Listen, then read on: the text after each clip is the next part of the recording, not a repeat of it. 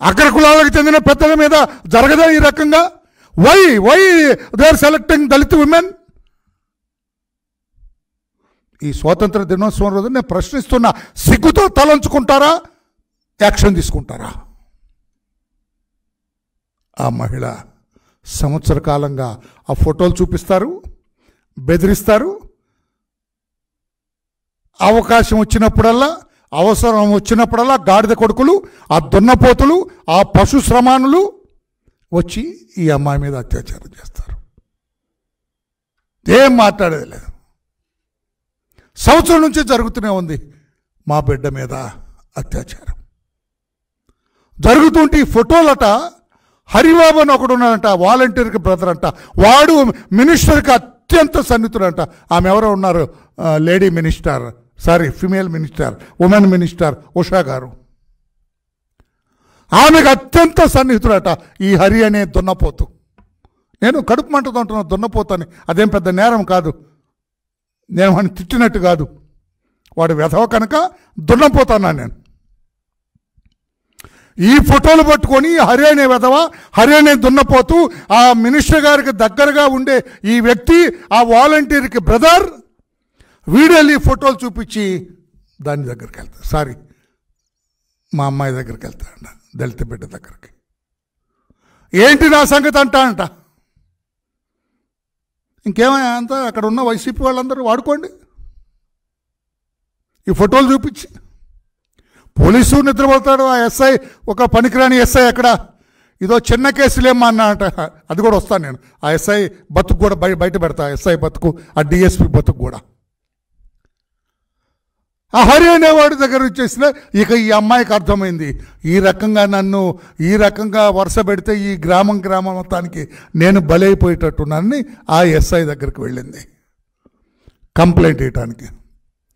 నాలుగు లైన్లు కంప్లైంట్ తీసుకున్నాట. నేను చూస్తాను చూస్తాను ఏంట్రా బుద్ధి లేని ఎస్ఐ? చూస్తానేంటి ఆ హరిని తీసుకొచ్చి తొక్కాలా నువ్వు? ఆ ఇదుగురిని తీసుకెళ్ళి తొక్కాలా? ఈ అమ్మాయిని మెడికల్ ఎగ్జామినేషన్కి పంపించాలా? గ్యాంగ్ రేప్ కేసు రిజిస్టర్ చేయాలా? అల్లకల్లలు సృష్టించాలా? ఆ మంత్రితో తిరిగి ఐదుగురు ఎవరో తీసుకొని తోలు తీయాలా? ఆ హర్యానా వాళ్ళు వాడిని వాయగొట్టాలా ఇవన్నీ చేయకుండా చిన్న కేసులే అన్నట ఎస్ఐ పేరు కూడా చెప్పారు. నేను నోట్ చేసుకున్నా. అది ఇక డీజీపీ గారు ఎరగదీస్తారులే ఆయన డీజీపీ బ్రహ్మాండ మంచి మంచి ప- బ్రహ్మాండమైన డిఎస్పీ డీజీపీ ఉన్నాడు మనకి. ఇక ఎస్ఐ ఆ డిఎస్పీ అయిపోయారు కాళ్ళు. పటిష్టమైన డీజీపీ ఉన్నాడు మనకి. లాండ్ ఆర్డర్ని చీమ చుట్టుకోమని ఒప్పుకోడు డీజీపీ గారు. అంత బ్రహ్మాండమైన ఏమంటారండి able director general of police we have. Able director general of police. అది ఏం కేసులు చిన్న కేసు అన్నాడ ప్రెస్లో పుంకాను పుంకాలుగా రాసినారు. అక్కడ మా వాళ్ళందరూ చెబుతున్నారు ఇది నిజమే అని. నేను అడుగుతున్నా మినిస్టర్ని అడుగుతున్నా విమెన్ మినిస్టర్ మీరేం సమాధానం చెబుతారమ్మా దీనికి? మీ అంట ఉండేవాళ్ళంట ఆ పశువులులాగా ప్రవర్తించిన వాళ్ళు ఆ మృగాళ్ళు పాత్రికేయ భాషలో మీకు అర్థం ఆ మృగాళ్ళు మీ వెంటే ఉంటారటగా? మీకు తెలిసే జరిగిందా? Are you have any knowledge of this తెలిస్తే మీరెందుకు పోలీసులకు చెప్పలేదు యాక్షన్ తీసుకోమని? ఆ ఎస్ఐ ఇప్పుడు ఏం సమాధానం చెబుతాడు ఈ కేసులో? ఆ డిఎస్పి అంటారు ఏదో చిన్న కేసు ఇచ్చిందిలేండి నేను చూస్తానులే అని అంటాడు. ఏంటండి ఇది? ఒక దళిత మహిళని గ్యాంగ్ రేప్ చేసి సంవత్సర కాలం నుంచి ఆ అమ్మాయిని రేప్ చేస్తూ ఉంటే ఈ వాలంటీర్ తమ్ముడు కూడా వాడు ట్రై చేసి వాడు కూడా అటెంప్ట్ చేశాడు.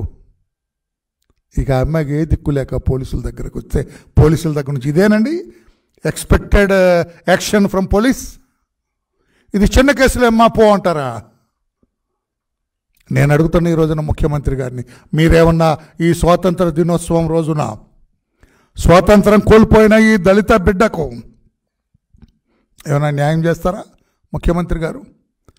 ఈ డెబ్బై ఏడవ స్వాతంత్ర దినోత్సవం రోజున సంవత్సర కాలంగా స్వాతంత్రం కోల్పోయి ఈ వైకాపా వారి కబంధ హస్తాల్లో చిక్కుకొని వీళ్ళ వీడియోలలో బంధింపబడి వీడియోలు చూపించి పదే పదే పదే పదే పదే పదే ఆ అమ్మాయిని మీద అఘాయిత్యం చేస్తూ ఉంటే స్వాతంత్రం ఉన్నట్ట? నేను అడుగుతున్నా ఈ రోజున రాష్ట్ర ప్రజలను అడుగుతూ ఉన్నా.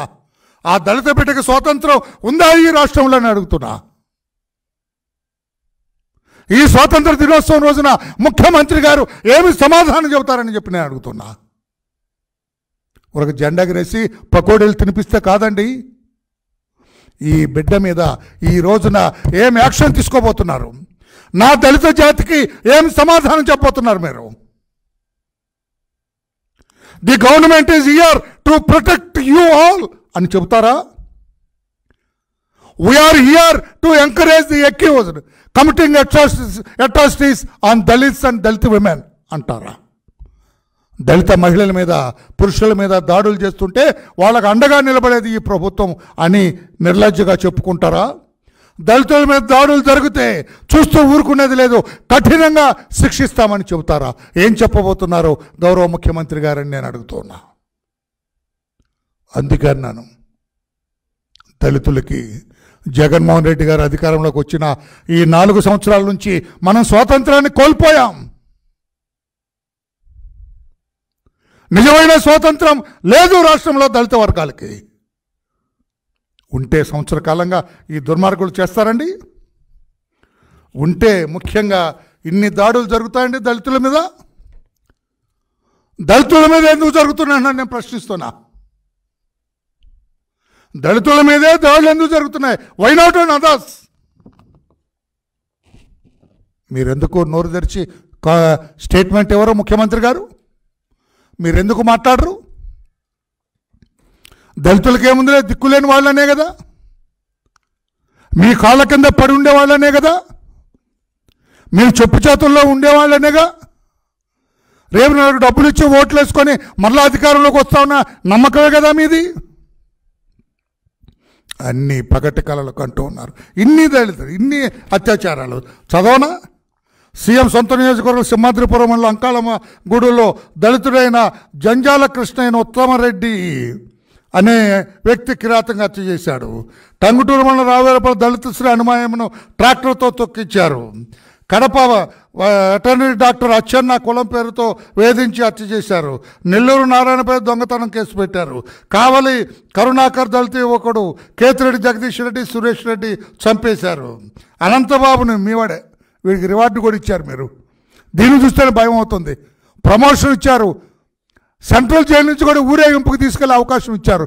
అహో ఏమి ముఖ్యమంత్రి సార్ మీరు. అహో బతుకుంటే ఆసుపత్రికి తీసుకెళ్ళు. చస్తే శ్మశానానికి తీసుకెళ్ళమని ఆ డ్రైవర్ సుబ్రహ్మణ్యాన్ని ఇంటి దగ్గర పడేశారు. కరోనా కిట్లు అడిగితే డాక్టర్ సుధాకర్. లెక్కర్ రేట్లు ప్రశ్నిస్తే ఓం ప్రతాప్ ఇసుక అక్రమ రవాణా ప్రశ్నించిన వరప్రసాద్కు పోలీస్ స్టేషన్లో గుండు కొట్టారు. మాస్క్ పెట్టుకోదని చీరాల థామస్ పేటకు చెందిన మా దళిత ఒకడు కిరణ్ చంపేశారు.